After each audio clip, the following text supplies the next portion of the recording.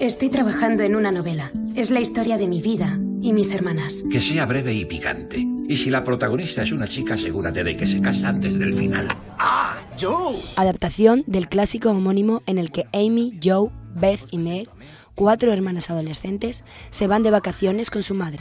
Pienso abrirme mi propio camino en el mundo. Nadie se abre su propio camino, y menos una mujer. Tienes que casarte bien. Tú no estás casada, tía March. Eso es porque soy rica. En plena guerra civil americana, mientras atraviesan el estado de Massachusetts, descubren el amor y la importancia de los lazos familiares. Yo es un caso perdido.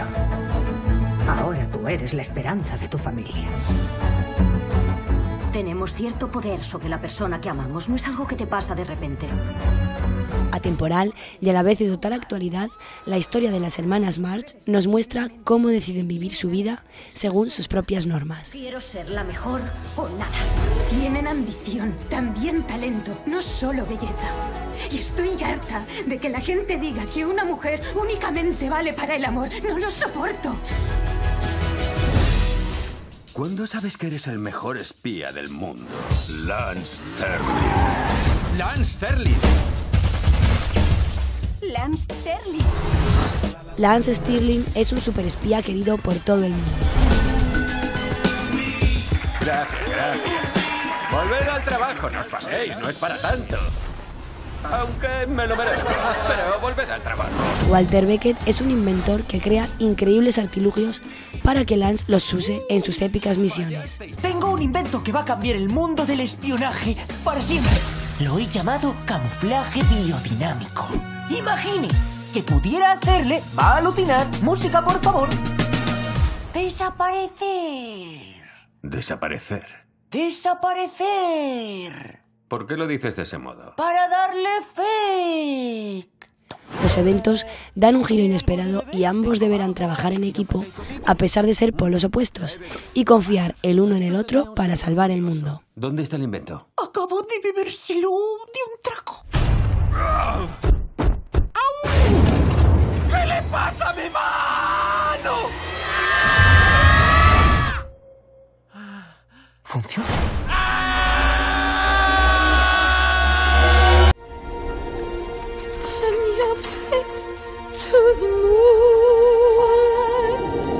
Basada en el exitoso musical de Broadway, Nunca te había visto, ¿verdad?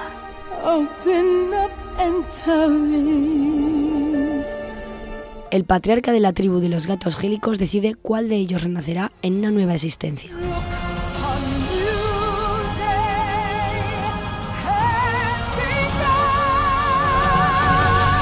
Los gatos se van presentando y contando su pasado, destacando qué les hace especiales para ser elegidos.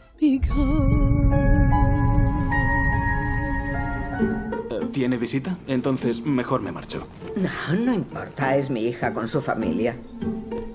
Ah, Se casó con ese actor, ¿no? Actor es mucho decir. Bienvenido.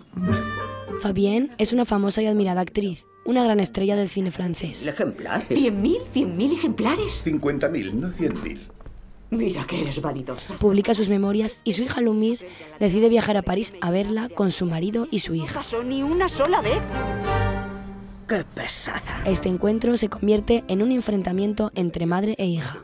Se revelan verdades, se ajustan cuentas y se habla de sentimientos. Querías enseñarle nuestra familia feliz, pero no le darás celos con eso. ¿Qué voy a hacer con Luke? Empieza por disculparte. Jamás le he pedido disculpas a un hombre. Los engañaste a todos y no pediste perdón a ninguno.